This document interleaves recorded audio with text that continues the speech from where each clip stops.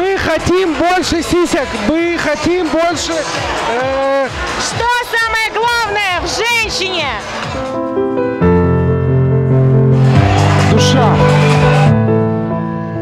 Душа. А как же сиськи? Сиськи это хорошо, но главное